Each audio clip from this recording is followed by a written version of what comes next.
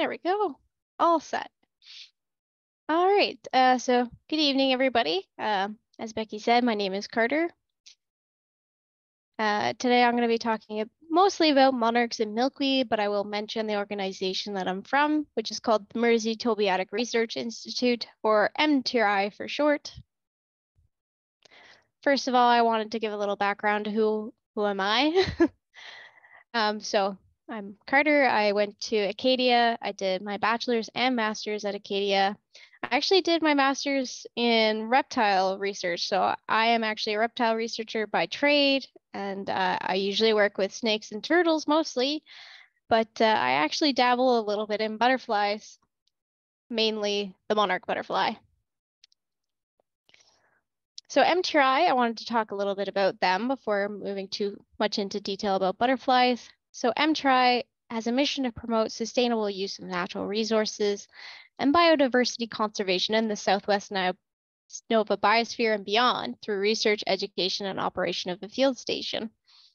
And we have a really big vision as well. And both of these things are pretty big and wordy and they're nice, but what they really mean is that we want to live in a world where both humans and nature can live cohesively and sustainably, and we can kind of have like, you know, big, happy family style. we want to live in a world where there are no species at risk. We do a lot of things. Um, mainly, we do a lot of research. So, a lot of my time goes into actively going out and looking for species at risk, tallying how many I see, recording data, and making sure they're doing okay, and mostly things to do with that. That could be the form of actually going out in the field, recording that data, or sitting at home analyzing the data to try and come up with some uh, a model to see how they're doing that kind of thing we do a ton of volunteer engagement we always like encourage and welcome volunteers to come out with us to experience what we experience to see the work we do to get to know Nova Scotia better and our species better. Uh, we do things like bat surveys where you can come out and count bats with us, or nesting surveys, which this month, June, is a very important month for rep for turtles in particular because they are up in the evenings trying to nest. This is often in areas that are dangerous, like roadsides. So we like to take people out, and that program would not be possible without having that volunteer crew. We've had thousands and thousands and thousands of hours uh, dedicated to helping protect turtles' nests and making sure that those uh, eggs get uh, are not predated. Some of the other things we do are outreach and education. So this could be in the form of going to markets and having booths, going to targeted events and hosting booths like Hope for Wildlife Open House. We go and talk about the different species at risk or seminars like this one or presentations to specific groups. Um, we also take out school groups and have workshops. So we've had workshops on various topics in the past. Um, the picture in the middle there, you can see we've taken out the local land-based learning class. So we got them out in the community working on species at risk. We also produce uh, lots of literature, so Species at Risk Guide, Healthy Wetland Guides. These are resources for landowners uh, and the general public to use to learn more about these species at risk and various other topics, FSC, invasive species. We have a whole list of literature. And you're always welcome to come to MTRI to check out some of the stuff we have. The main, or the, I guess my main job is uh, working with species at risk. So MTRI not only works with monarch butterflies, but bats, as well as lichen, hemlocks with the hemlock woolly adelgid, eastern ribbon snakes, Blanding's turtles. And then we have a few other projects that always escape me because I never get to work on them, like old growth forests. Today, of course, we're going to be focusing on the monarch butterfly, but if there's ever anybody has questions about any of the other species, you can always reach out to me or I'm MTRI and we'll direct you to the person who knows the most about those subjects. So the monarch butterfly, for those who might not have ever seen one, is a very large orange and black butterfly with white spots. Uh, they consume milkweed as a caterpillar. So milkweed is their host plant. They have one of the largest insect migration routes in the world. And some of the threats that they're facing are a loss of overwintering habitat, um, the use of pesticides and herbicides, and a loss of breeding habitat, so a loss of milkweed. In uh, Nova Scotia, you might see another butterfly that looks similar to a monarch. This one is called the viceroy, and it mimics the monarch, and that is because the monarch is actually um, poisonous. So if you ingest it, you're going to get really sick. So the viceroy is trying to tag along on that uh, on that strategy and pretend it's the monarch, so other things think it's also poisonous, and that's why they're brightly colored. Usually brightly colored animals or plants or things are usually poisonous, so you don't want to eat them. The difference between the viceroy and the monarch is this lateral line on the hind wing. So if you look, there's a vein that runs, there's two veins, one on each hind wing that runs directly across the wing, kind of cutting the rest of the veins in half. If you see that, that means that's the viceroy. The Viceroy is also quite a bit smaller than the Monarch as you see on the bottom left photo. But unless you have a Viceroy and a Monarch side by side, it's going to be really hard to tell. So looking for that lateral line is your best bet. You can also tell if a monarch is a female or male based on looking at it. Males have these two scent glands on the hind wings indicated by the red arrows here. Those are used to attract a female.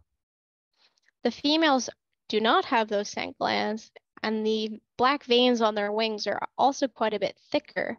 So sometimes it can kind of be a little bit difficult to tell a female because I find it just so easy and obvious when I see the scent glands to know it's a male versus the female, you kind of got to get a little closer to make sure that there is no scent gland.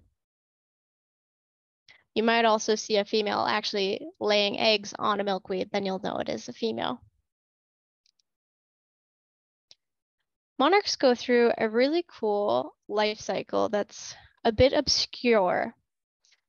Uh, so the way that their the, their life cycle goes is in uh, around March, they start to wake up from their overwintering site and they'll begin to breed. Those ones that have bred will lay their eggs and then pass, they'll die. The first generation will grow up They'll go through the full stage, they'll through caterpillar, they'll pupate, and then they'll emerge as adults. They'll begin migrating north. And they continue to do this as they lay eggs and the generations go through. So by the third generation, they're in the furthest north that they're going to be. So the northern limit of milkweed, so which is Nova Scotia and kind of like half, if you cut Ontario in half, right about there. That's about the northern limit. So they'll be up here. Then what happens is they kind of have a choice.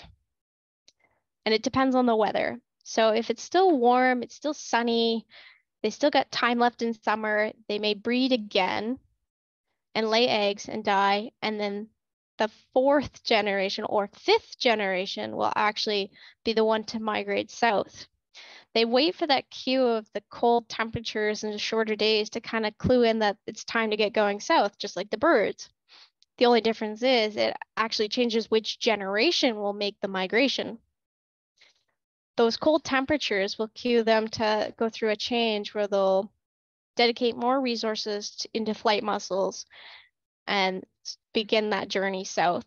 And then they, the monarchs that are born here, will make the full three or the full 5,000 kilometer hike down to Mexico in one go versus the three or four generations it takes to get to Nova Scotia, which is a really crazy life cycle.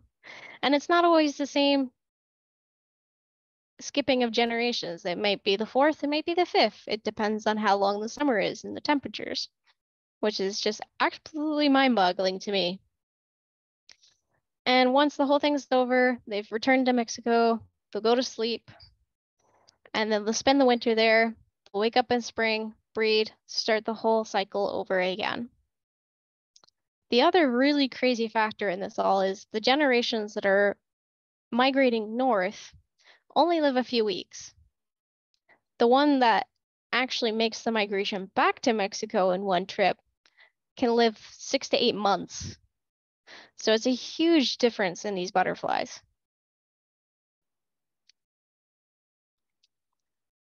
The overwintering site, uh, I mentioned a few times now, is a very special site in Mexico. They overwinter in the oyamel fir forest in Mexico, and uh, there's a they're under threat, the, the forests themselves. There are very few oyamel fir forests left. They're being illegally logged, sadly, and it's diminishing the amount of habitat that the butterflies have to overwinter in. And the more it's logged, the worse it gets because as they lose area, they actually lose the buffer that helps protect them from storms and, and bad weather. So the less area they have, the and if there's any storms, the more are likely to die, which is really sad. Thankfully, there's nice big sanctuaries and stuff, and they're still they are protecting that forest. The way that they measure the population to kind of keep an eye on it to see how it's doing is actually by the number of hectares that the butterflies cover, the number of trees that the butterflies cover in the overwintering site. This obviously is not an exact science, but it, it's the best way instead of counting individuals, which would take literally forever. Um, you can see historically they've covered up to 20, almost 20 hectares trees in Mexico. And sadly in 2014 had the lowest recorded number of they didn't even cover a full hectare. Just a little over half a hectare of trees. Since then they've actually come up in numbers and they've started to cover a little bit more. And they've determined that they would like to see an average of six hectares per year covered by butterflies to say that they are doing better. They haven't updated this in a couple of years now, so I have no idea how they're doing in the last few years. Here I show the migration path. The, the blue star in the bottom is the overwintering site. And you can see sort of the migration path northward and the northern range of the milkweed. There's something in the middle there called the corn belt. And that's a bit of an issue it's a large areas of agricultural land that are lacking in both milkweed and nectar sources. And this is where that pesticide and herbicide use becomes a problem because they use it to try and keep the weeds out of their agricultural lands, obviously, but they also are inadvertently affecting the monarchs because they're, well, milkweed, weed is in the name, so there's not enough milkweed for the monarchs there.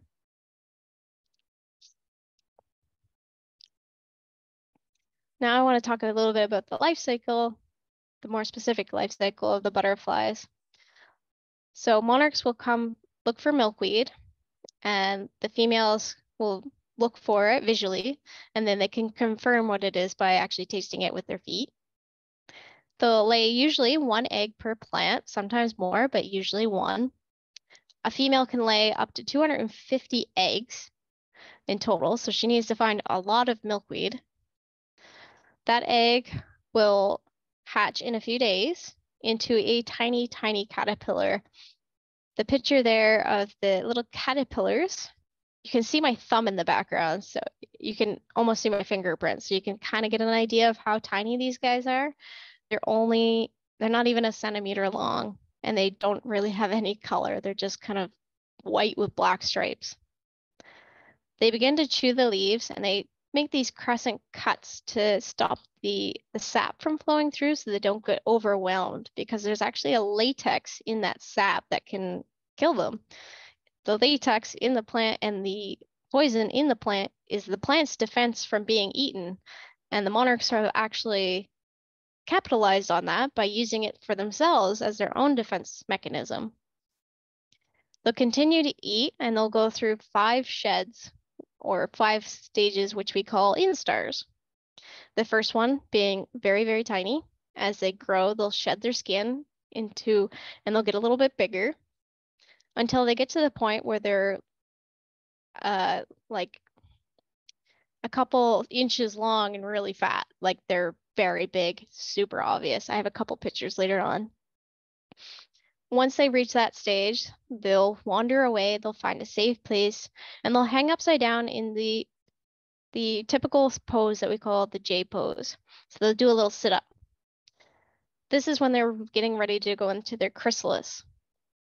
They'll shed one more time, revealing the chrysalis underneath. And after about two weeks, the chrysalis will begin to turn black and it's actually becoming clear and you're beginning to see the abdomen of the butterfly. Soon the butterfly will actually emerge looking very weird and they'll have to hang upside down and they'll have a really enormous abdomen and really tiny crinkly wings. And that's because all the fluid that they need to go into their wings is actually still in their abdomen. So they'll sit upside down and let that fluid flow in to their wings and gently flap their wings, drying them out and getting those flight muscles warmed up before they get, then they'll take off and then they'll start feeding on nectar plants. Here you can kind of see on the left how tiny these little itty bitty caterpillars are. So if you're looking for monarch caterpillars, it's almost easier to find the cuts, the crescent cuts in the leaves first. On the right, you can see the large caterpillar. So he's like a couple inches long. He's pretty fat. He's about the size of your thumb. And in the background, you can actually see these black dots. So that's their poop. And that's probably the easiest thing to spot. And it gets, it's easy to see once you're looking for them. So those are signs to look for when you're looking for uh, caterpillars on your milkweed. So milkweed, or members of the Asclepiades family, so if you're looking for milkweed plants, you want Asclepiades, are a, it's actually a poisonous plant. So in the sap of the plant is a carcinogenic and the caterpillars consume that and store it in their bodies so that they become toxic to anything that tries to eat them. Unfortunately, predators need to eat them to learn that they are poisonous. And that's why they're brightly colored. It's a learned trait. After so many times of eating those yellow and black caterpillars, the birds start thinking, okay, those ones don't taste good. No more of those. So the less there are around, the less they learn. So it's really important for for species like this to have high numbers. So there are a couple different species of milkweed in Nova Scotia that you might come across. I'll show you those. And there's some issues with milkweed. So in Nova Scotia, you might see in the valley, you're more common to see the common milkweed, which has fat, thick, fuzzy leaves and a pretty round uh, ball of flowers on the top. Swamp milkweed, like its name, usually grows in more swampy areas along lake shores and riverbeds. It has a thinner, more luscious green, smooth leaf and more umbel shape, a more umbrella shaped flower complex. And the other one you might see is butterfly weed or tropical milkweed or orange butterfly weed. This one has many names. Um, it's sold in nurseries mostly, and it's orange, and it doesn't grow here natively. The other two species do. So if you're ever thinking about getting milkweed, swamp milkweed's the one you want because it's native and it's not an aggressive plant. Common milkweed actually reproduces through root shoots, because so it can take over an area pretty quick, causing it to be a bit of an issue for certain areas. So milkweed, because of the carcinogenic in its sap and the latex, is an issue. It's a it's a carcinogenic, so it's toxic to livestock. It can be really deadly to poultry too. Because of the latex in the sap, it can clog up farm equipment and it, because it loves these open areas, the common milkweed in particular, it can really invade croplands. So in that corn belt, that's where it becomes a huge issue. If you're trying to harvest your crop and you're getting all this milkweed caught up in your in the mowers, it's going to become an issue, especially if you're trying to make like hay for horses and things. You don't want milkweed in there because that's bad for it's toxic to them in Nova Scotia, common milkweed is on the noxious weed list currently, but because of its importance to the monarch, there, um, the recovery team is currently trying to get it removed from that noxious weed list. The other thing that I wanted to throw in here is there is an invasive Asclepias species called European swallowwort or dog strangling vine. It is part of the Asclepias or milkweed family, but unfortunately monarchs cannot survive on it. But because it's it's similar and they think it it's gives them all the same cues, they'll lay their eggs on it, but they won't survive. There's not very many sighting reports of this, so I don't think it's a huge scary issue, but it should it's good to be aware of all these invasive species. So a few years ago, uh, monarchs were actually listed as endangered in Nova Scotia. So what this means is some good things, some kind of annoying things. Um, you now need a permit to handle them. So that means you're not allowed to move them or anything with them without a permit.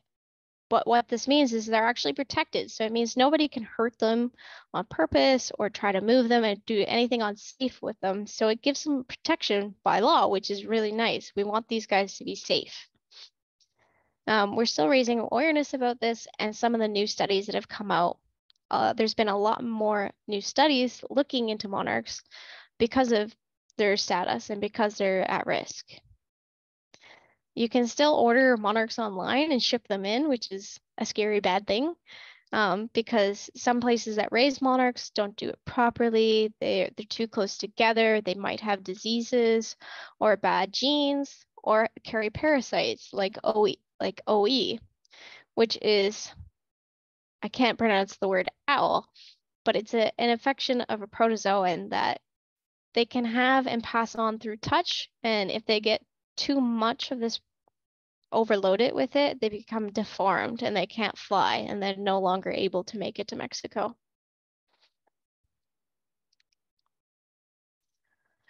So I talk a big game about monarchs. What am I doing about it? so we started a few years ago the milkweed monitoring project. So I do a lot of monitoring in all my other projects. We haven't we hadn't been doing it with monarchs. So we decided we were going to start trying to monitor monarchs in Nova Scotia, see how they're doing. We want to look at like the loss of habitat. What kind of habitat is there? Is there enough food for them in Nova Scotia? Are there any threats that are in Nova Scotia that aren't being considered to them overall? And do they have any preferences? Like, is there something that they like more than other things? Are they being attracted to places they shouldn't be?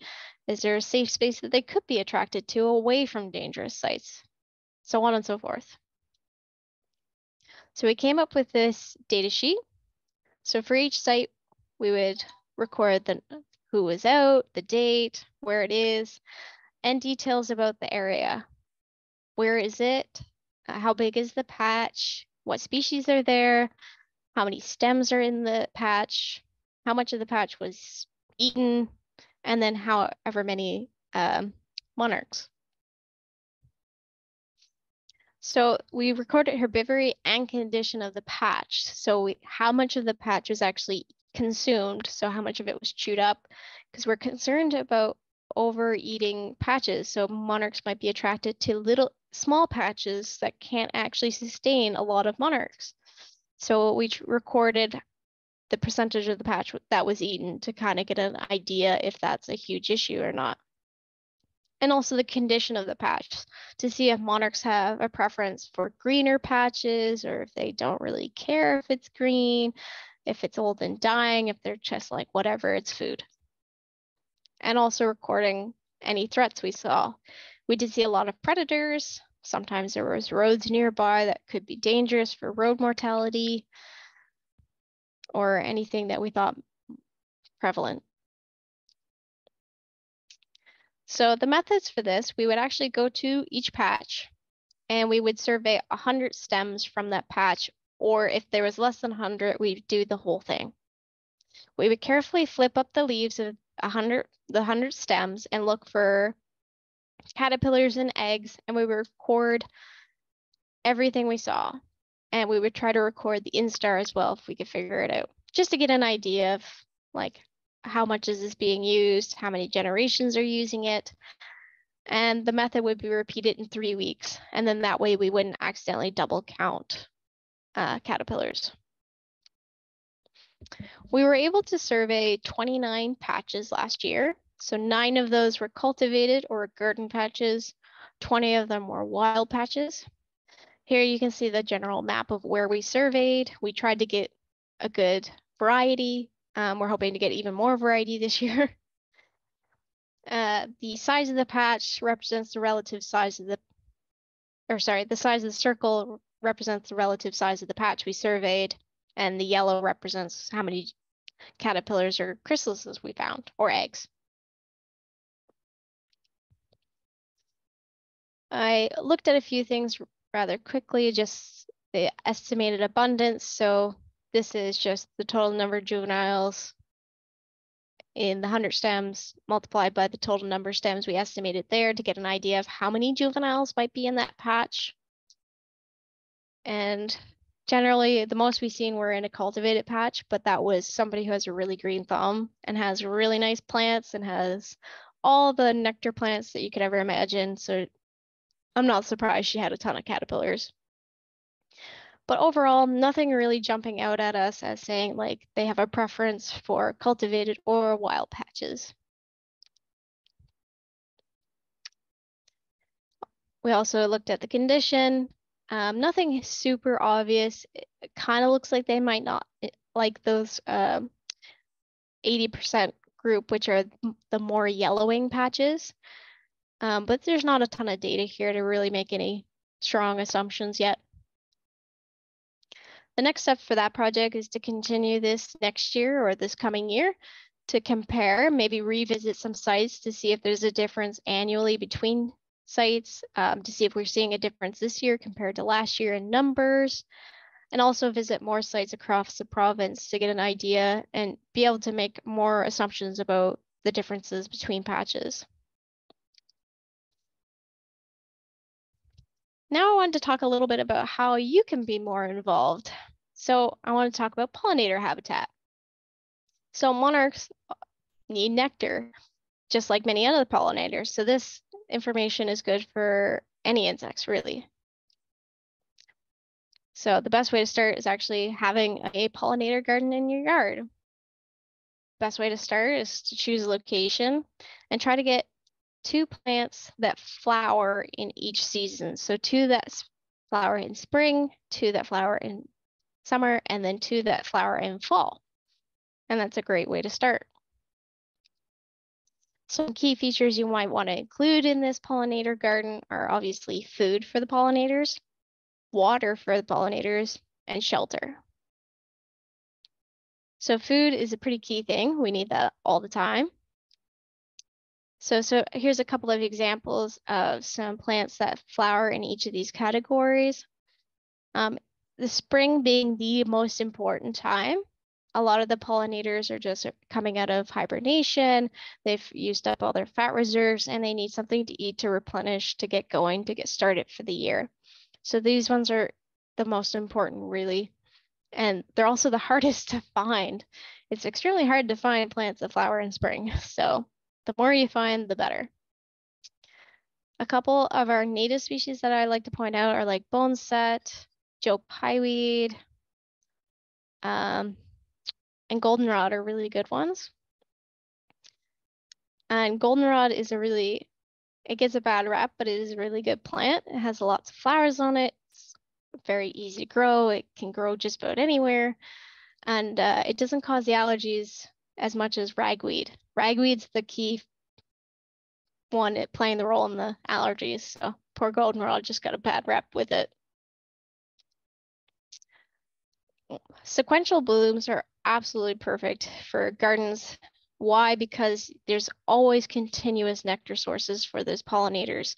So things like butterfly bush on the far left here are really great. Obviously, the butterflies love them.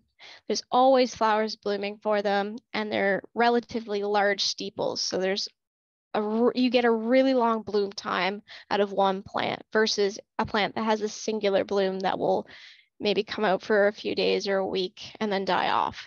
These guys constantly have some flowers. Other food sources you might want to consider are things like food for yourself, like you can have a treat too. So blueberries, raspberries, staghorn sumac makes a great tea. Um, serviceberry, grasses are really good too. I know I innately think I don't want grass in my garden because you're not supposed to, but grasses are great. Uh, sweet grasses, switch grasses, these are great not only for nest building materials, but also places for pollinators and butterflies to get out of the rain and seek shelter. And also host specific plants, things like milkweed for the monarchs or thistles or pearly everlastings for the painted ladies and things like that. Other key features, so water and safe water. Safe water is the key feature here.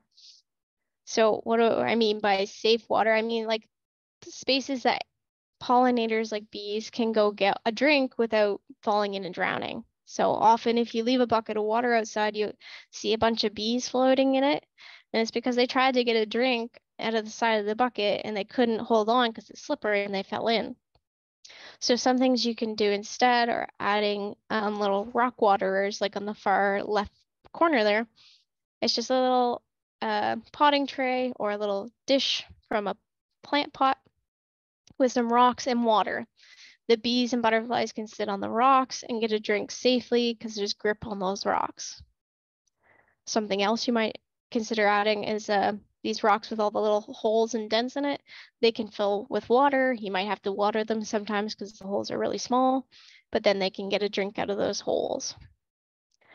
You might also consider adding a puddling station for butterflies. So butterflies can't actually get everything they need from nectar. Sometimes they need to get minerals. And that's when you'll see them puddling, which is this behavior when butterflies gather in the middle of a road around a puddle and they start drinking the water from the puddle. It's because they're trying to get those minerals that have soaked into the water from the road. The way to do this is to have a dish with some soil in it and rocks and water and basically the minerals will soak into the water and they can get a drink that's mineral full. And lastly, some shelter. So these are areas for the insects to get out of the rain and bad weather and hide out. So grasses, like you see, or bee houses, uh, places for the bees that are made specifically for the bees to get in out of the rain or rock wall features or any features that provide an area that's dry that they can get in out of the rain and weather. These could be even decorations like trellises or benches or other features that you let the plants grow up. This provides a space for them to get in out of the rain and it also looks really pretty. So the you know, don't be afraid of those vertical spaces and utilizing them.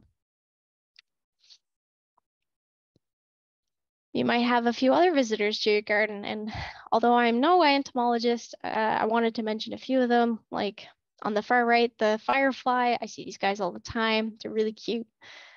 Um, the top middle one here, this is a spine soldier bug. Um, they actually predate monarchs, so you might not want them in your garden if you're trying to get monarchs to come, but you might see those guys around. On the left is a hummingbird moth. These guys are really cool. They look just like a hummingbird, but they're actually a moth. Or ladybugs and all various bees.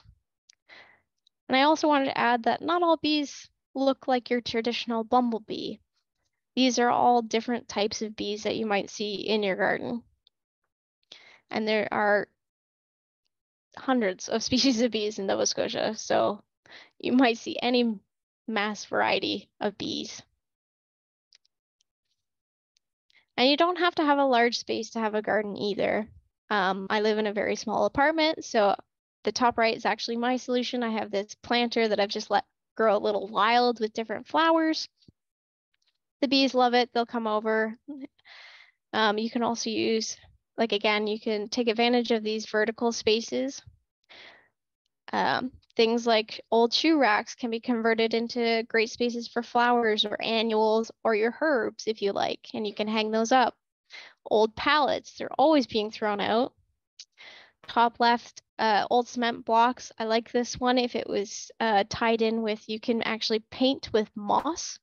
So you blend up moss with yogurt and you can paint it on and it will grow and then you'll give it a much more natural look or old furniture or old bathtubs, boots. I've seen people turn just about anything into different plant potters. A few more ideas. Some of these, I like to take advantage of these vertical spaces because they're so underutilized. On the far right, these are actually PVC tubes that have holes cut in them and the plants are planted into the holes. And finally, um, my absolute favorite is that top right one where they took an old tire and turned it into a little pond. So this incorporates plants, safe water, drinking spaces, and shelter that they can get in on the edges and hide out of the rain. So this is a really good like trio of things right there. Where can you find some plants? So we actually partner with nurseries across the province. Um, we provide them with milkweed seeds so that they can continue to grow it and sell it for people across the province that want to be more involved. We have partnered with Indian Farm Gardens, Wildville uh, Lake Farm Market, Village Nursery, Jefferson's Greenhouse, Helping Nature Heal, and many more. These are just some of the ones that are local to us in the South Shore. And that concludes my presentation. Are there any questions? Thanks so much, Carter. Yeah, folks, if you have questions, you can speak up now. You can stick them in the chat. I can get us started off if you want to think about your question or you need time to to write it down. Uh, I do have a whole bunch of questions for you, Carter, because I'm super interested in monarchs and plants. So I apologize in advance. I'm super excited. I'm uh, I'm wondering first about um, the configuration of gardens, where I, I'm anticipating that a lot of folks who are into monarchs are probably also at least a little bit into gardening. I've seen research suggesting that maybe the best configuration of a pollinator garden for monarchs is one where the milkweed are kind of out to the edges rather than inside a wide garden, perhaps to avoid predation. Do you have any knowledge, thoughts on that, or have you seen any thoughts work on that in Nova Scotia or, or Atlantic Canada? Um, so I know exactly the paper, Baker and Potter 2019 it was uh, milkweed along the outside of the garden was two to four times more likely to be visited by monarchs. Um, I don't think it was, I don't think there was anything about predation in that particular one, but uh, there's a few different papers that all say a little different variation of what's the best. So if you want to be really specific, you need to have open south-north access to the milkweed. It's actually better to have your milkweed away from your other plants as well, because you might be attracting predators into your milkweed patch. So even having the milkweed away is even better. Um, and not having your milkweed near structures like houses that paper wasps would use, and definitely no butterfly houses because paper wasps use them 100% of the time in the one study and they predate on monarchs. And having more than one species of milkweed too. I think that was like six different papers all together summarized in three seconds. Great. Uh, well, Brooke has a similar question, which is how many milkweed should you have? And I, I guess maybe another question that's related to that is should they be like clumped or should you have like a bunch of individual plants scattered all over the place or both? So then there is no magic number. And I think that's a bit of a, a little bit of a debate right now about how many milkweed you need to have a good patch. Um, I think having several well-established plants is a good start. So ones that are self-seeding, once your plant is established and, and uh, going to seed pod, uh, it will actually continue to have more and more stems each year. So you'll get like almost a milkweed bush. Um, once you have a couple of those, you're looking pretty good. Um, and I'm not sure, I don't think there was anything about having uh, more than one patch of milkweed. I think that, yeah, I, I never read anything about that one. I don't think it makes too much of a difference whether as long as each area has enough that the caterpillars that are there won't run out of food or if at least the caterpillars can travel it's not far a super far difference distance that they can actually travel to another patch if they need more food. Okay makes sense. And what about um, you mentioned uh, it's beneficial to have a couple of different species what about differences between cultivars? Are you aware? Because a lot of like swamp milkweed at the garden centers is different colors, different cultivars of swamp milkweed. Are you aware of any important differences between those in preference amongst the caterpillars or success in yeah getting to adulthood?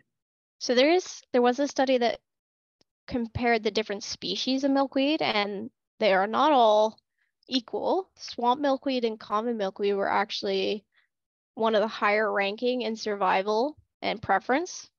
Um, there's, I think, like a dozen other species that, of course, we don't have here. They grow in the States. So it's good that we have the two best. Um, but it didn't look at the different cultivars. I, it's interesting because a lot of those didn't exist recent until recently, like ballerina, um, which is the white variety of swamp milkweed. And I would assume, but I, I say that hesitantly, that the properties would still be the same. But when you start breeding um, colors and stuff in plants, it might have an effect on the actual levels of that carcinogenic that's in the plant that helps them become the butterflies be poisonous. So I'd say stick with your naturals and supplement with the pretty ones. and those um those nurseries you guys partner with, are they good for finding like wild stock? We provide with wild stock, yeah. So we, uh, MTRI has its own patch of milkweed, and we also have a few people that send us milkweed. Those are all from uh, natural Nova Scotia grown milkweed. I've definitely found in my on my own property where I've got mostly swamp milkweed kind of like all over the place, and then a couple pots that are up on my deck of both swamp milkweed and common milkweed that I find more caterpillars every year on the the potted plants that are kind of out on their own, but also on the common milkweed throughout the year. I'm assuming that's because the common milkweed is bigger most years, and so it's providing more food or more food throughout the year, perhaps. But I'm wondering why there are more caterpillars in the pots versus in my really bulky, messy garden. Is that maybe because of predators, or maybe the adults aren't going to that area? I've definitely read that before that they in in in the and in our study, we found a lot of the caterpillars were actually on the edges of patches rather than in the interior. And it might have to do with access to the plant and actually the butterfly finding the plants. They might not be able to see them in the big patch of everything else. And that's probably why they like the the milkweed along the edge of a garden instead, is because they can actually find it. So I I would guess that's why they like being able to. They it's like oh yep, there's milkweed done. Gotcha. Okay. Well, I really like that white variety of the swamp milkweed, and there's a yellow one that I've been trying to get my hands on for a while. I wonder if we should be asking people to tell us how many caterpillars they're seeing on their white versus pink milkweed. I'd be interested in that. Me too. Um, I had a question about uh, species. You showed uh, three species earlier in your presentation, um, common swamp and uh, butterfly weed, I think, but you also mentioned tropical milkweed. Can you take us back to that maybe, or talk about tropical milkweed versus um, butterfly weed, both, I think both of which are orange or similar? So it, it's actually the same species. It just has a bunch of names. Oh, there it is. So in the story, you might see this by a bunch of different names. So I just wanted to mention a few in case you're familiar with one but not the other. So it's, uh, I think it's called butterfly weed, but it's also called tropical milkweed, or you might see it by a few other orange milkweed or orange butterfly weed. This the scientific name being Asclepias tuberosa.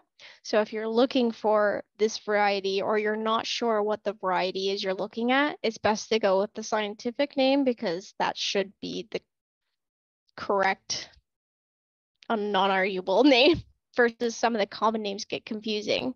Like even swamp milkweed now, I'm seeing it as uh, red milkweed or red butterfly weed. So it's go it's just there's so many names and especially of the varieties it's easier to look at that scientific name. So if it's tuberosa it's the tropical one and it's less preferred.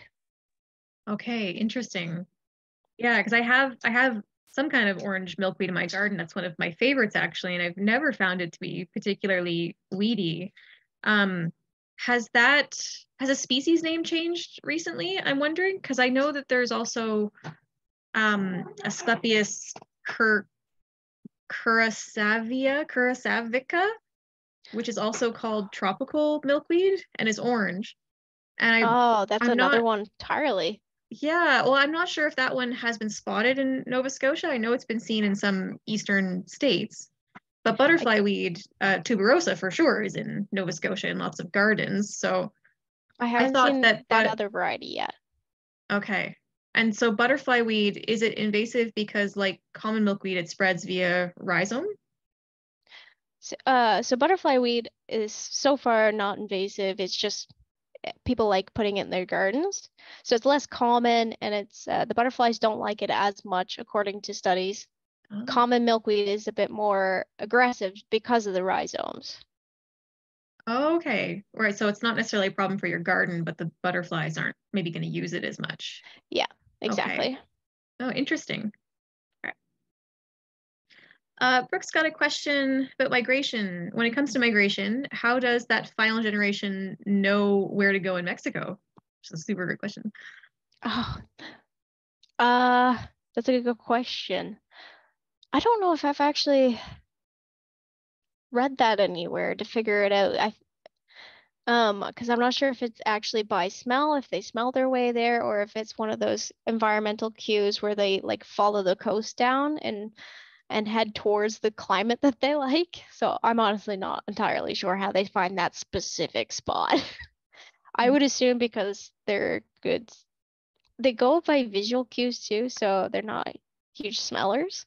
So I'm, I'm thinking it's like not quite salmony, but more or less they they kind of know, like the birds just know. okay, cool. It's impressive, however they're doing it.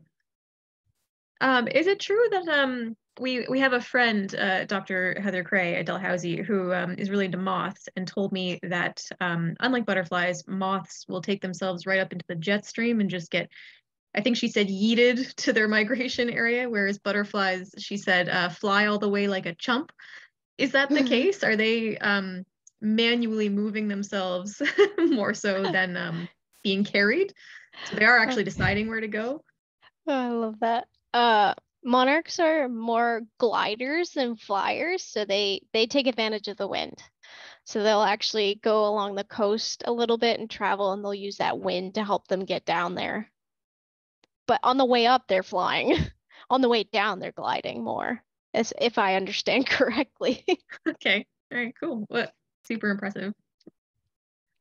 Um i have some questions about monarch physiology. Um I, this might not be your background i'm not sure but our um our young naturalist club uh, the nature guardians chapter before um, the monarch was red listed and we needed a permit to do these kinds of things we were raising a small number of monarchs from a patch in um, a swamp milkweed in Dartmouth that we had planted.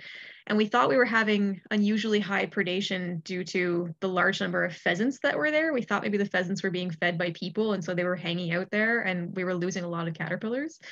Anyway, so we kept, um, I think, 10 or 12 caterpillars in uh, an outdoor enclosure and then got to watch them grow and leave, and that was awesome for the kids. But um, we had one caterpillar who was normal as a caterpillar, and it being a female. Um, we learned when she turned into a butterfly. Um, but when she made her chrysalis, she um, the seam in the front or back, depending on how you would organize a caterpillar body, I guess, where um, the legs end up forming, she had like a weird um, deformation there that when she emerged from her chrysalis ended up resulting in her proboscis and her two front legs being fused together.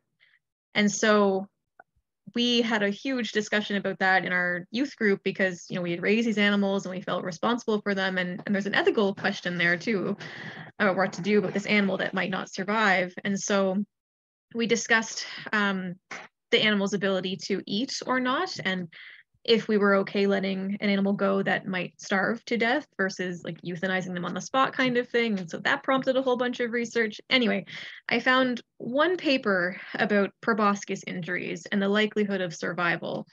And we ended up performing a tiny surgery on the butterfly where we snipped the proboscis at the legs to free all three uh, appendages.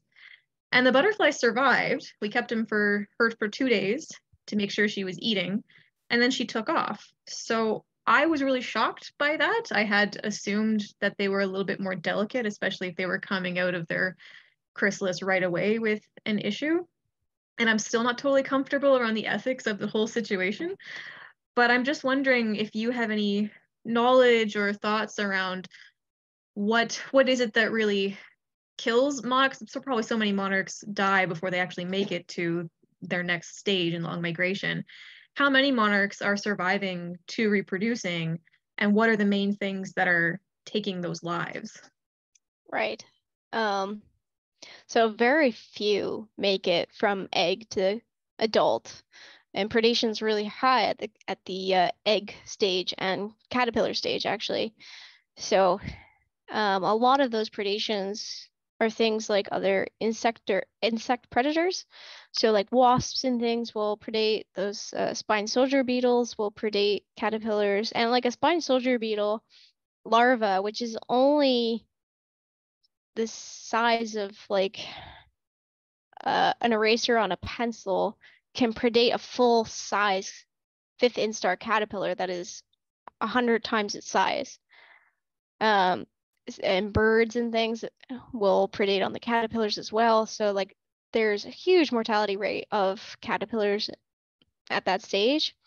So it's not surprising that the predation rates are high, and that's why they lay so many eggs and things. Is like they're trying to flood as many as possible, so uh, and get adults from that. Um, yeah, so I say it's mostly like insect predators, even, and that that varies year to year. Like some years you'll have really high predator predator rates, and re- and then other years you might not. Uh, in particular, last year there was a, a particularly warm spring at one point, and it caused the ladybug population to boom. And so there was ladybug larvae everywhere, and they ran out of food, so they started eating all the the monarch eggs. So there's no eggs ever. Like there was a huge patch. I searched the entire thing and I couldn't find a single egg. And I talked to a local and he said that he had zero eggs because of all the ladybug larvae. So stuff like that happens. You'll, you'll have these fluctuations in population size, which is normal. Hmm, interesting. And in terms of like injuries, I imagine being a tiny winged insect, you probably get beaten up quite a bit on your migration. And then there are the monarchs like um, I think we called her Juanita, the one that had the proboscis issue.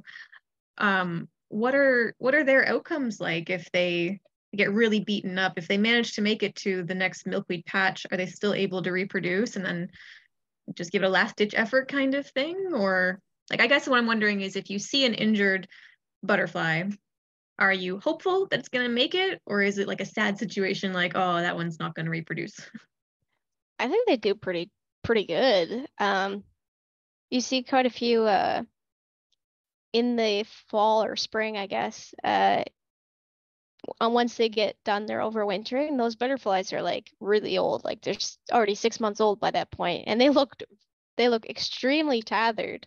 Like their wings are pretty fa- frayed because they've lived so long and they've traveled so far and they've overwintered and they still keep chugging. So like I think they're pretty strong and hardy little insect despite being so delicate. They're actually they survive a lot. Hmm. That makes me feel so good. They seem so plucky. Uh, Kathy says she was uh, surprised to hear about the unusual egg per plant ratios. Um, she had eight caterpillars last year on a Cinderella swamp milkweed, which had the pink flowers, and they ate everything, and she couldn't get more plants until August. And I, I feel you, Kathy, because I've had the exact same problem. um, the plant is back, and three more plants have been acquired now. But um, I wonder if you have any thoughts about that kind of situation where you like you know you have a bunch of caterpillars and you're running out of milkweed, and what what do you do? I know that's the that's the hardest part right now is figuring that one out, especially in the fact that they're endangered and you can't move them. Um, it's best to try and get as many plants as you can.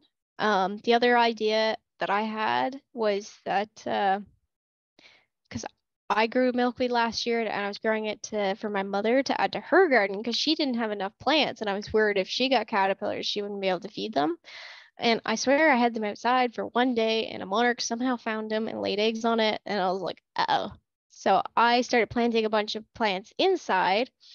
And when they ran out of food, I took those plants outside so that in the meantime, while I was waiting for them to grow, another monarch didn't come along and start laying more eggs.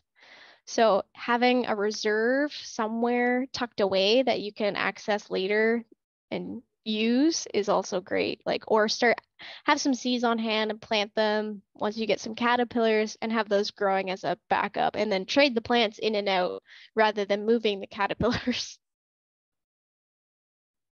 Gotcha. Okay.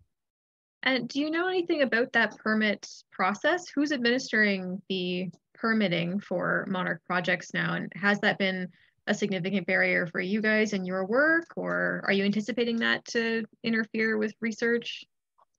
Um, so that would be the Department of Natural Resources. We have to apply to permits for all our work that we do if we're handling the species. So that's kind of a normal thing for us for especially reptile work. Um, we're not planning on getting a permit for butterflies because we're not planning on touching them. Uh, we're just going to go monitor them and keep track of them. So we don't plan to actually deal with that because it, I mean, it's a lot of paperwork. And if we don't need it, we're not going to bother uh, spending on unnecessary time. Right. What about the um the plants? Are they or are they technically but not in reality covered by the same rules? Like do you technically need a permit to be creating a garden or transplanting wild milkweed? Uh, no, it's just the monarchs that are uh, protected by that. It's not the plants. So you won't get in trouble for moving the plants without a permit. Well, I can't imagine you'd even get caught, but that's good to know.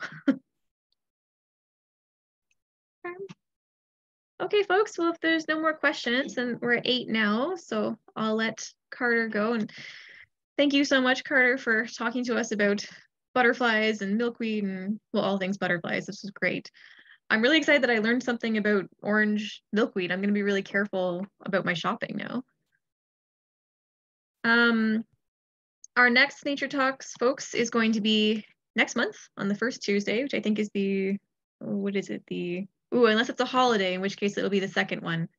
But anyway, we'll send out an email. Um, if you're following us on social media, you'll see it there. Um, Carter, I know MTRI also has your presentation series. Is there anything coming up in the near future that folks should be aware of? Uh, I can't remember the next one, but we post them all on Facebook and you can sign up for them ahead of time, just like this one. We're hosted on Zoom and then we post them on YouTube afterwards, the same. Great. Okay. Well, thanks so much for being here, everyone. And yeah, definitely head over to MTRI's website. There is a link in the chat there, and I'm sure you can also Google them yeah, and check out some more presentations. We'll see you next month. Thanks so much, Carter. Thank you. Bye, everyone.